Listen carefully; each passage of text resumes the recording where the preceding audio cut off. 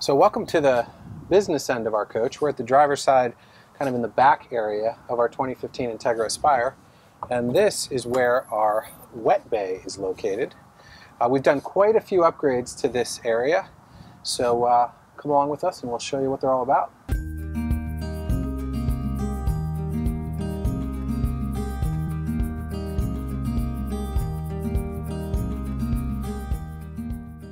So before we get started, I'm going to set up my trusty little camping chair. And this chair is actually not very good for going and hanging out with your friends when you're RVing at a you know campfire or anything like that. It's actually very portable and very good for when I'm working on the RV. Uh, we picked this one up at Amazon, I'm pretty sure, on Amazon, and we'll put a link for it. But these videos typically take about an hour to film, and I don't feel like sitting on my knees for all that time. So let's get started. So you might have noticed uh, initially that there's a bunch of these kind of gangly wires here, and those aren't normally part of our, our uh, wet base setup. Uh, we'll go into that in a little bit, but first we'll kind of tell you what that is and, and why it's here. Um, we're actually at REV, which is a technical service center here in Alvarado, Texas. This is an authorized service center for Fleetwood, Monaco, Holiday Rambler, and American Coach, I believe. Uh, they are doing some maintenance for us here. We got a full tour of the facility and got to film a bunch of really unique stuff about the maintenance process, so make sure to subscribe for that video. But the reason why all this is here is that about 100 feet behind you is a dump station, which is located in their uh, campground that's located on premise, which is where we are right now. Now this is a portable macerating system. We're not going to go tremendously into this in this video because we've already done a video which I'll put a link for here. And essentially what this does is this allows us to dump our tanks through a standard garden hose. And because we have a 100 foot garden hose with us, we can actually use this system to dump our tanks way behind you without having to move our coach. So what these wires are, one here is a trigger, which turns on and off the macerating pump, as you can hear there. The other wire here goes up to the 12 volt power, which has a quick release there uh, all of which is covered in our, our other video. So we're going to get this out of the way and then talk to you about uh, a bunch of the upgrades we've done in here.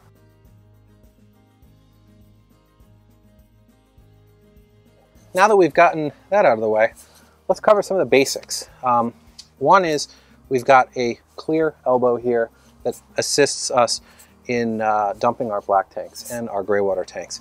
Essentially, the clear elbow is very effective especially if you have a tank rinse system like we do, in uh, making sure and kind of giving you a visual indicator of when your tanks are full.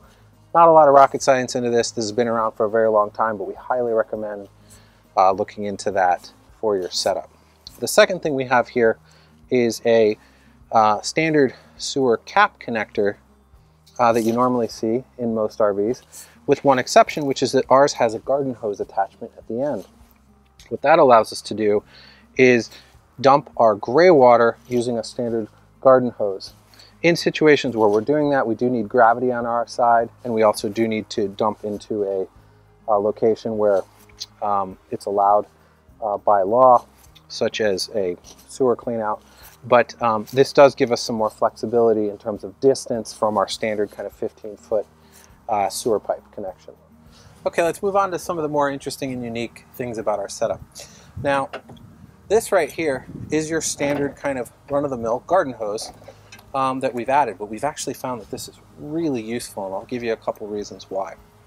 Um, so before I tell you about the reasons why I like it, kind of give you some of the high-level setup. There's a small adapter here that you can purchase at Home Depot, or we'll put a link for Amazon that converts this threaded adapter. I'm not sure the exact size. I think it's a, I think it's a half inch, uh, but it was what hooked up kind of your standard hose length with your shower head adapter, and it converts that to a garden hose adapter. Now, why we really like having this is our bus is 45 feet long. This hose is 50 feet long. So this gives us the ability to, when we're stopped at, say, a truck stop, or when we go to get gas or somewhere else, to turn on water here and actually wash our windshield.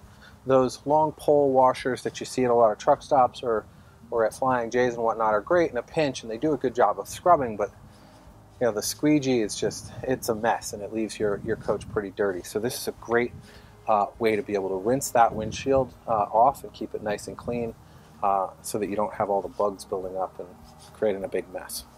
Another thing that's nice is this trigger uh, attachment that we have here has a lock in it, so you can obviously lock it open, but that's not really as convenient as kind of why we think that's a great option, which is that if you pull this rubber end off, you actually have another threaded attachment there for an additional length of garden hose.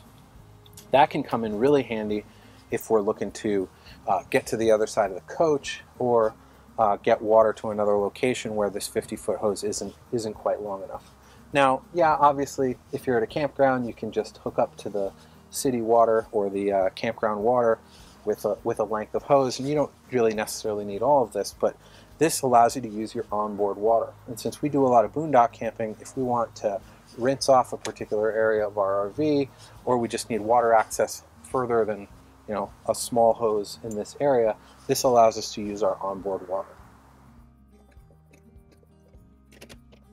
Okay, moving on, the next thing we have in our wet bay is our SeeLevel uh, tank level monitor. This thing is awesome. This came factory installed in our 2015 Entegra Aspire and we, we're pretty spoiled as a result. Uh, we didn't really know how many folks have issues with levels in their tank being accurate until we started getting on the road and talking to other folks about kind of what the experience has been with other brands. But this system gives us our battery level, our house batteries uh, in voltage, and then a percentage indicator for our fresh gray and black tanks. Um, we find that this is highly accurate and uh, works really well, especially if you regularly rinse your black tank. Our friends at Powhana Travels actually had this installed in their Fleetwood um, Discovery. So, or actually, I think they installed it themselves. So we'll put a link to the video there if you're interested in adding this to your to your rig and to your setup. But we really love this. One also nice feature is you actually can double click that and it will keep the uh, the level on the screen lit up for you for I think it's about five minutes. That comes in really handy if you're draining or dumping the tanks. All right, I'm going to move back a little bit and show you some of the other things that we've done here.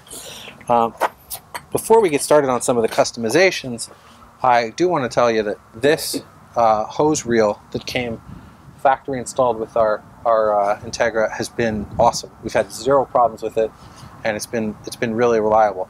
Ironically, I did find those for sale on Amazon. So if you are interested in adding a, a power hose reel to your setup, uh, this is the switch for it right here.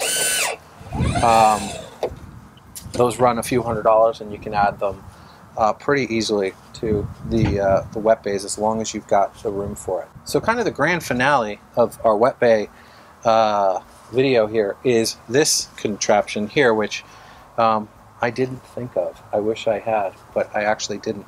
I'll, I'll give some credits to John and Barbara, uh, fellow Entegra owners who actually donated this part to us when they traded in their I believe 2014 Anthem. Okay, so what is this essentially? Well, the benefit, we'll start with the benefit. What this does is this allows us to use our rinsing system without having to have any additional hoses. And really, we can turn on our rinsing system with just one turn, which is boom. That's it. Our rinse system is on. Now, I'll get into why that water's coming out and what that means. That's all very normal. But before we go into that, what this is made up of essentially is is uh, PEX pipe, which you can buy at any Home Depot. You can get about 10 feet of it for something like I think five dollars. I could be wrong, but I'll put some links uh, in for that, as well as some some connectors and then some SharkBite uh, fitting clamps that uh, provide a watertight seal. Uh, this is all residential grade equipment. This is used in homes and uh, works absolutely great. We're going to take this off in a minute, but before we do so, I'm going to just explain the entire setup here. So coming from here in our hose reel, we're coming out, this is our freshwater supply line. We're coming into a T-junction here that's providing water to both this valve and this valve. Right here, this is the valve for our freshwater shutoff, so we can shut the water off here, uh, which means we will no longer have fresh water going into our tanks. And then up here is the valve that controls our rinsing system, which I showed you before. Above here is a vacuum breaker. And this vacuum breaker is a, a high quality vacuum breaker Um, they do make pretty cheap ones for about $5. A really good quality one that has a double valve in it is about $30 and I think that's definitely worth the investment. What this does is this prevents water that comes out of the rinse system when you shut it off from backflowing through here into your freshwater system. But that little tree there, I think all in all to build that costs around $30. Um, I'll put a full parts list in uh, in the article, but before we go too much into that, I'm actually going to take this off and show you guys how to crimp on some of these PEX connectors if you've never done it before because it's really easy to build one of these and I highly recommend you carry some PEX tools with you while you're traveling because if you ever have a plumbing leak or break, these will be a lifesaver in you being able to fix that without having to go spend money on costly repairs. Before we start with showing you how to crimp PEX, we're going to take this off.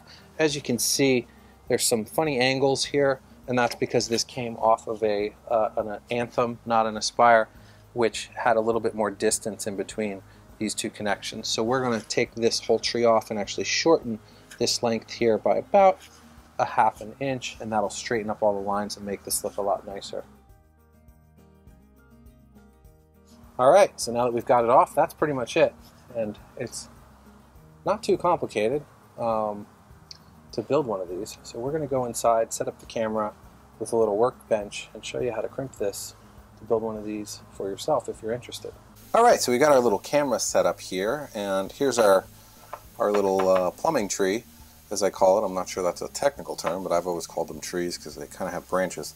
Um, so a couple different tools. Obviously, you can build this if you'd like. Uh, we're not going to go into the specifics. It's pretty simple. I mean, these are T's and these are right angles. Uh, and then there's small amount of PEX that you'd have to measure depending on your RV setup and your wet bay. This thing's awesome though. It really gets rid of all of your hoses and just gives you a much simpler solution. Um, but let's go into the, the tools that we have here. This is a PEX cutting tool uh, made by SharkBite. Uh, we like this because, well, the number one reason we like it is because it's an inexpensive uh, cutter. The other reasons we like it is it does half inch, three quarters, and one inch PEX, uh, all with a single cutter that's pretty portable, so that's nice. This is a uh, PEX crimp tool.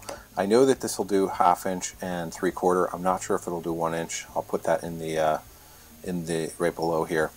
Um, and what this does essentially is this crimps on these small little clamps, um, which hold uh, between your uh, unions here and your PEX to give you a watertight fitting. We went outside and did a quick measure.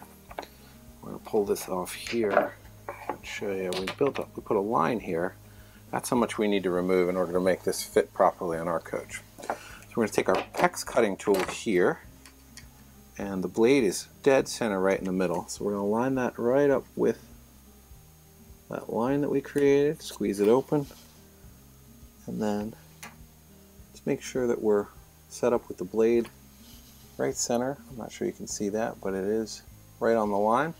And then we're just going to twist it uh, believe that's counterclockwise if the blade is located on this side and there are arrows to tell you which way to turn it. Usually it's about one, maybe two full turns and boom, there you are and we're right on the line. So now we're going to grab one of our clamps and keep in mind, even if you're not building this, as I said, this is something you really should should have uh, handy in your RV in case you have any plumbing problems or you need to, to make any adjustments to your coach. Uh, so we, we would consider a PEX tool an essential tool for, for, uh, for full-time RVing. So if you look at this PEX tool here, it, it works very much like a set of pliers except for it has a much smaller opening here when it's fully opened and inside here that's where you put the clamp end here into the tool. So it's probably going to be a little hard to see what I'm doing here, but we're just going to get that set up so it's pretty much ready to be crimped down. We're going to make sure everything's nice and tight and also straight. Going to leave ourselves about, I don't know what that is, about an eighth of an inch of play there. And then this is kind of the hard part with a tree this complicated, is we're going to squeeze this tight and also try to keep it straight while we do it. And just requires one and then it'll release and that's it. Got yourself a watertight seal. So we're going to go install this back on our coach and uh, finish up the video. Okay, so that pretty much wraps it up. We put back our tree here. Uh, it's all reinstalled and ready to go. A huge thanks to um, to John and Barbara Ahrens who actually took this off their 2013 Anthem uh, and gave it to us when they upgraded to a Cornerstone and gave us the idea to share this with you with you guys. Um, so thanks so much, guys. Um, a quick sneak peek for folks who stayed to the end of the video. We're actually doing a complete wet bay automation project that should be pretty interesting. Check this out. This was all built by us. Uh, this is a relay control box. This is a touchscreen uh, computer, and this is going to actually be installed right here, and this is going to automatically control our black and gray valves, a macerating system that has been uh, provided to us by Thetford, the uh, Sani-Con 600, which is their brand new model that they've released uh, to solve a lot of the challenges specifically around uh, gray water bypass issues uh, for macerating customers and also speed issues with macerators. Um, again, all going to be controlled here by this nice little touchscreen. There'll be another one of these up inside the coach so we can run all of our wet bay functions from inside. This is also going to control, if everything goes right, our black water system, our rinse system, sorry, and it's also going to control our freshwater fill system. Uh, it's going to give us some really unique and interesting features. We're hoping to make sure that we can add timers to all these things so you can press one button and fill your tank for three minutes or four minutes or five minutes depending how empty it is and a bunch of other things. So make sure to subscribe and click the bell so that you're notified on that future video. Thank you so much for watching guys and we'll see you on the road. Don't forget to follow us on Facebook and subscribe to our YouTube channel. You can also subscribe to the blog directly on livinlite.net and you'll receive email updates of all of our posts.